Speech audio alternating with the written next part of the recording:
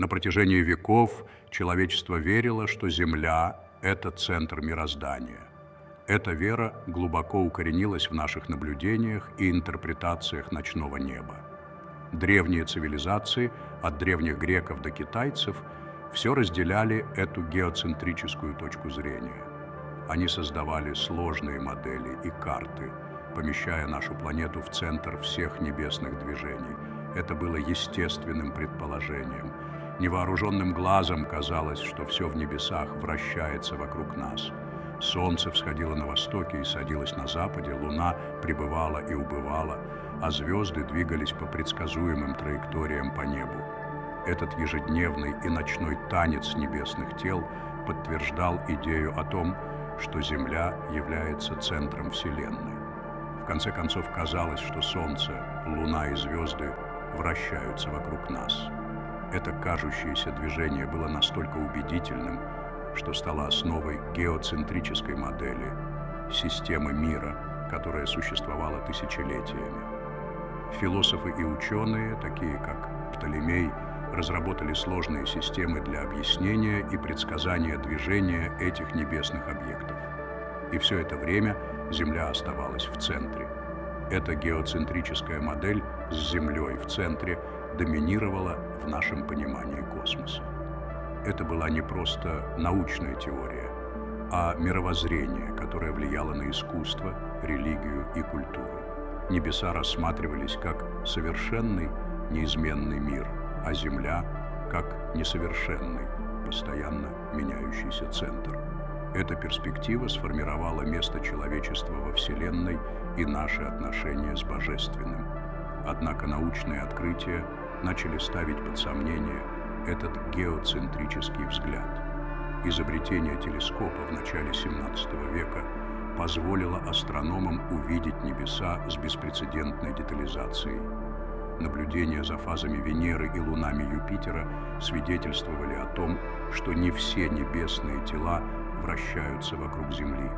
Николай Коперник, польский астроном, предложил гелиоцентрическую модель в XVI веке. Его новаторский труд «De revolutionibus orbium coelestium» о вращении небесных сфер предположил, что Земля и другие планеты на самом деле вращаются вокруг Солнца. Это было радикальным отходом от общепринятой геоцентрической модели и столкнулось со значительным сопротивлением со стороны научного и религиозного сообществ того времени. Он предположил, что Земля и другие планеты на самом деле вращаются вокруг Солнца. Эта гелиоцентрическая модель упростила сложные движения небесных тел и обеспечила более точную основу для понимания их движения. Это была революционная идея, которая заложила основу для кардинального сдвига в нашем космическом восприятии. Эта революционная идея заложила основу для кардинального сдвига в нашем космическом восприятии. Гелиоцентрическая модель получила дальнейшее подтверждение в работах таких астрономов, как Иоганн Кеплер, открывший, что планеты движутся по эллиптическим орбитам, и Галилео Галилей – чьи телескопические наблюдения предоставили убедительные доказательства в пользу системы Коперника. Работа Коперника, наряду с наблюдениями Галилео Галилея, помогла укрепить гелиоцентрическую модель. Открытие Галилеем лун Юпитера и фаз Венеры бросило вызов геоцентрической модели и предоставило веские доказательства в пользу гелиоцентрической теории. Эти открытия ознаменовали начало новой эры в астрономии и нашем понимании Вселенной. И все же истинная природа и необъятность Вселенной оставались окутанными тайной. Даже с гелиоцентрической моделью наше понимание космоса все еще было ограниченным. Звезды считались неподвижными точками света на небесной сфере, а Вселенная считалась относительно небольшой и статичной – потребовались новаторские работы Эдвина Хаббла в 20 веке, чтобы разрушить наше ограниченное представление и открыть космос, гораздо более грандиозный, чем мы могли себе представить. Наблюдения Хаббла за далекими галактиками показали, что Вселенная расширяется, что привело к осознанию того, что она намного больше и динамичнее, чем считалось ранее. Это открытие изменило наше понимание Вселенной и нашего места в ней, открыв новые горизонты в исследовании космоса. В 1920-х годах Эдвин Хаббл сделал ряд революционных открытий, которые навсегда изменили наше понимание Вселенной. Используя мощный телескоп Хукера в обсерватории Маунт-Вилсон, Хаббл заглянул в глубины космоса, наблюдая далекие галактики за пределами нашего собственного Млечного Пути. Наблюдения Хаббла показали нечто удивительное. Эти далекие галактики не были неподвижными. Они удалялись от нас, и чем дальше они находились, тем быстрее, казалось, удалялись. Это революционное открытие, известное теперь как закон Хаббла, предоставило первое веское доказательство в пользу расширяющейся Вселенной. Наблюдения Хаббла имели глубокие последствия. Если Вселенная расширялась, это означало, что она должна была возникнуть из одной точки в далеком прошлом. Эта идея легла в основу теории Большого Взрыва, преобладающей космологической модели происхождения Вселенной. Общая теория относительности Альберта Эйнштейна, опубликованная в 1915 году, обеспечила революционную основу для понимания гравитации и структуры Вселенной. Эта революционная теория коренным образом изменила наше представление о космосе и нашем месте в нем. До Эйнштейна преобладающее понимание гравитации основывалось на работах сэра Исаака Ньютона, чьи законы движения и всемирного тяготения доминировали в научной мысли на протяжении более двух столетий. Эйнштейн предположил, что гравитация – это не сила, действующая на расстоянии, как описывал ее Исаак Ньютон. Законы Ньютона, хотя и невероятно успешные в объяснении движения планет и объектов на Земле, трактовали гравитацию как невидимую силу, притягивающую объекты друг к другу. Эта концепция, хотя и интуитивно понятная, оставляла много вопросов без ответа, особенно когда речь шла о поведении света и природе самого пространства. Вместо этого Эйнштейн ввел идею о том, что гравитация – это искривление ткани пространства-времени, вызванное наличием массы и энергии. Это было радикальным отходом от ньютоновской физики. Представьте себе пространство-время как четырехмерную ткань, которую можно деформировать и растягивать объектами, находящимися внутри нее. Массивные объекты, такие как звезды и планеты, создают в этой ткани вмятины, изменяя траектории других объектов, движущихся через ту же область. Представьте себе шар для боулинга, помещенный на натянутую резиновую поверхность. Вес шара заставляет поверхность прогибаться, создавая вокруг него углубление. Масса шара создает вмятину в поверхности, искажая пространство вокруг себя. Более мелкие объекты, помещенные на поверхность, будут естественным образом катиться к шару не потому, что их притягивает невидимая сила, а потому что форма поверхности направляет их движение. Точно так же массивные объекты во Вселенной искривляют пространство-время.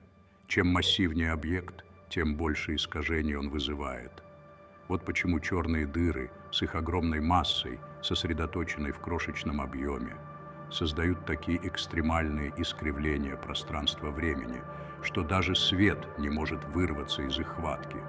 Объекты движутся по искривленным траекториям в пространстве времени, что мы воспринимаем как силу гравитации. Планеты вращаются вокруг звезд, а луны вращаются вокруг планет, следуя искривлениям в пространстве времени – создаваемым этими массивными телами. Это элегантное объяснение не только объясняло движение небесных объектов, но и предсказывало явления, которые не могли объяснить законы Ньютона, такие как искривление света вокруг массивных объектов, известное как гравитационное линзирование. Общая теория относительности Эйнштейна дала новый способ мышления о Вселенной она предложила более полное понимание того, как работает гравитация и как она влияет на движение объектов в пространстве. Уравнения общей теории относительности сложны, но они были подтверждены многочисленными экспериментами и наблюдениями, что делает ее одной из самых успешных теорий в истории науки.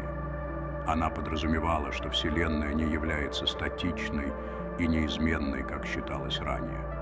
До Эйнштейна многие ученые считали Вселенную вечной и неизменной. Однако общая теория относительности предполагала, что Вселенная может быть динамичной, а ее форма и структура эволюционируют с течением времени. Вместо этого это была динамичная и развивающаяся сущность, формируемая распределением материи и энергии внутри нее. Это осознание проложило путь к теории Большого Взрыва и нашему современному пониманию космологии, где Вселенная рассматривается как расширяющаяся и эволюционирующая, с галактиками, удаляющимися друг от друга на протяжении миллиардов лет. Идеи Эйнштейна оказали глубокое влияние на наше понимание космоса, открыв Вселенную, которая намного сложнее и удивительнее, чем мы могли себе представить.